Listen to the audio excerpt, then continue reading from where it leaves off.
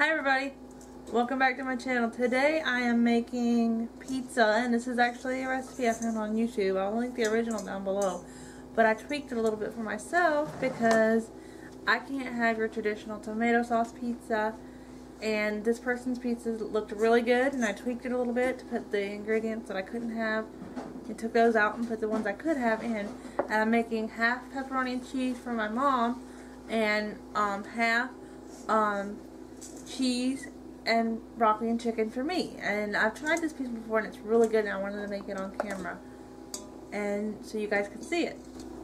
So the first two packets of Fleischmann's, Fleischmann's pizza crust yeast. And this is what it looks like. Two packets of this. Now this is going to make a um, cookie sheet style pizza. This is what this is going to make. And so, oh, wow, wow. Oh, wow.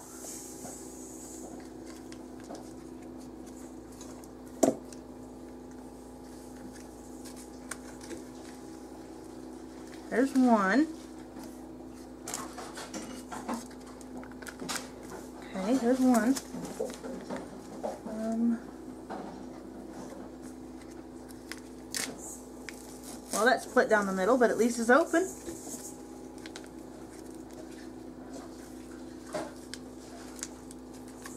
Okay, there's two. The next ingredient is two cups of all-purpose flour. Put them both aside, and I'm gonna get. See, I have a bag like this. Um.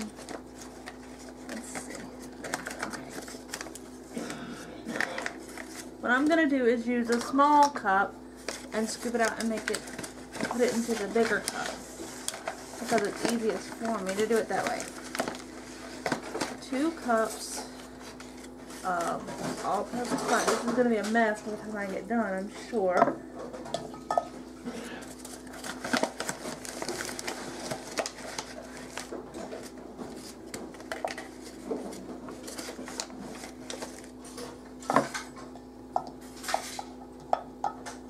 Okay, two more. flour everywhere. Okay, that's two cups of all-purpose flour goes into the yeast. Okay, now, what do, I, what do I need? I need, let's see, one and a half teaspoons of salt. One and a half. It's so hard for me to see because our measurements on the tablespoons and stuff.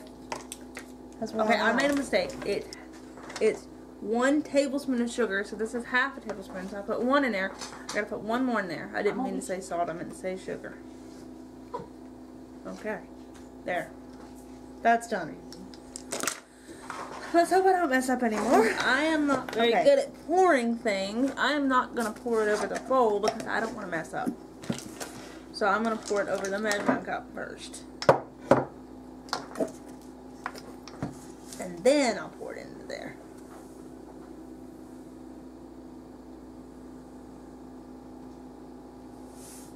That's one. And a half is the purple one, right, Carrie? And this is two. I mean, not two. Half.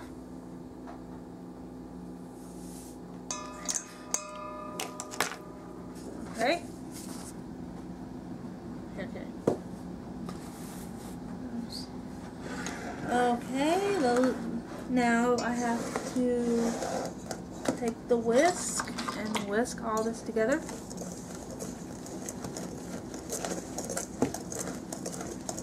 A fourth of a cup of extra virgin olive oil. And I'm going to slide this out of the way. Um, do you know where the little measuring cup is, Carrie? No, I couldn't find that. Okay, this measuring cup only has a half. It doesn't have a fourth. So I'm gonna go up to about half of that. Because unfortunately this doesn't have a fourth marker on it, except for a couple of This holes. is my time, I'm sorry. Alright, that's done. Oh, oop, gotta put the bowl over here so you can see. okay, now, ooh, this doesn't look so good.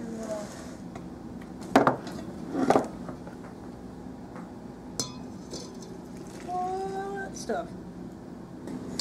Alright, now we have to stir this up. And then when this gets stirred up, we have to add in more flour until it's the consistency of dough. I know it doesn't look very good right now, but trust me, it tastes good. Well, it will when we get done. Okay, I think we got it all stirred in, and it does not look very good. But it will taste good in the end. At least I hope it does this time. Okay, now I need to move the all-purpose flour over here, and what we need is okay. Let me see where's that cup. There. We're gonna add uh, from a half to a whole. It depends on what you need. Cup of all-purpose flour until we get the consistency of dough. So I'm gonna start out with a half. And if I need it, I'll add more. So, stir that in. Sometimes when you have CP, stirring can be really hard because it takes a lot of coordination to hold the bowl and stir. And so, this is really fun, but it's also a good workout. I think I need some more flour. Okay, now we've got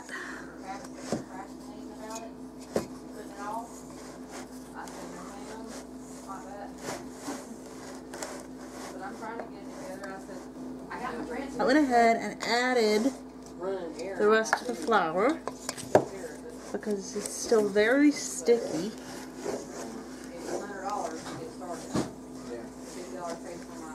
Okay, now that I think I got the flour situation figured out, I had to add a little bit extra than what this the person that I got this recipe from recommended because it was still pretty.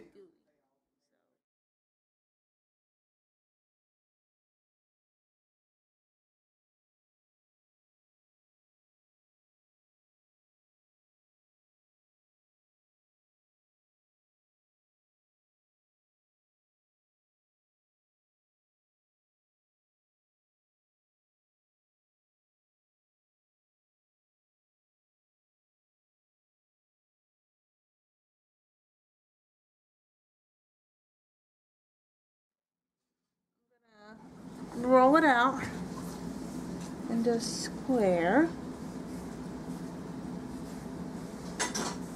And then let me back this up so you can see. Now, roll this out. Oh boy, now it's wanting to stick. You know what? Really? Okay, no, we're not even gonna we're not even gonna go there.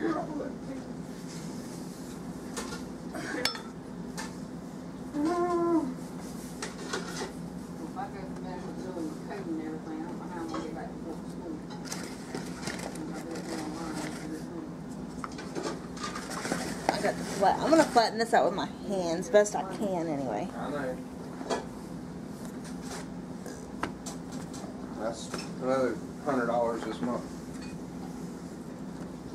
Or more.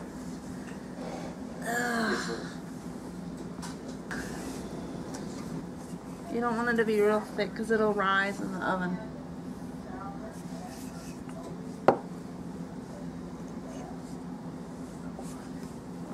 You probably have to shape it with your hands. Like get it out the way you want and then shape it with your hands. Probably. Tricky part is lifting this thing up. Can't you with that. Now that the pizza crust has been placed on the pan, which my sister-in-law had to help me with, um, I'm gonna pour some olive oil into a bowl. And now, oh, too much. Okay. Now, now I'm gonna brush this with olive oil. And unfortunately, the crust didn't turn out as well as last time for some reason. But hopefully it'll be okay. Done. Now I can't have very many spices, so I'm gonna add. Oh, hello. Whew, I'm gonna add a little bit of garlic powder and a little bit of onion powder. So here you go. Well, I was going to add some. Now some onion powder, just a little bit. I'm gonna oh. overpower it. Talking to the camera dear. Okay. I got to leave it in the oven for about five minutes to sort of.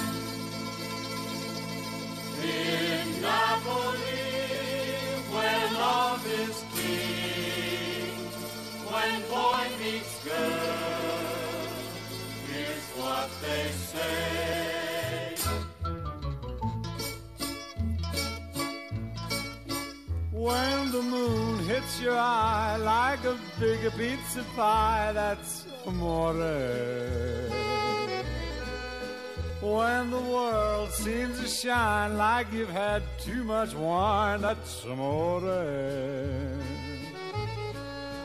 Bells will ring, ting-a-ling-a-ling, ting-a-ling-a-ling, and you'll sing Vita Bella. Hearts will play tippy-tippy-tay, tippy-tippy-tay, like a gay tarantella. When the stars make you drool, just like a pasta fazool, that's amore. When you dance down the street with a cloud at your feet, you're in love. When you walk in a dream, but you know you're not dreaming, signore. Scusa me, but you see, back in old Napoli, that's amore.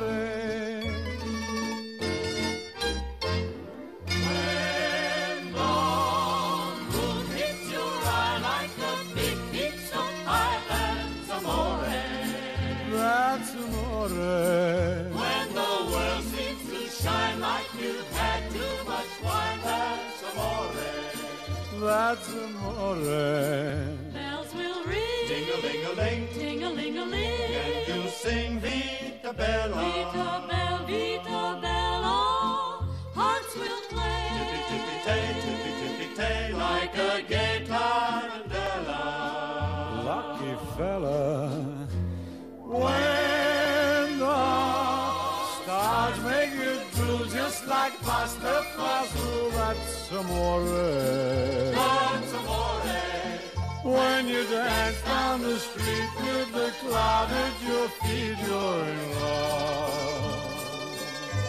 This is the last step before it goes in the oven at 350 degrees for 10 to 15 minutes, depending on your oven. And you sprinkle cheese over top, especially my half, and this makes it a little bit more moist. Now it goes in the oven at 350 degrees for 10 to 15 Okay, minutes. so this is what it turned out like, and it's been in there for what 15 minutes, right? It was in there for 15 minutes, and now cutting it is going to be.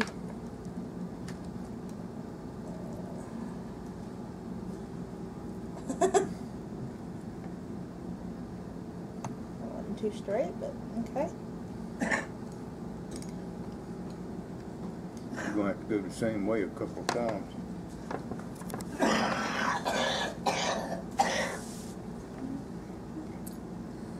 Alright, now go down the middle, you think?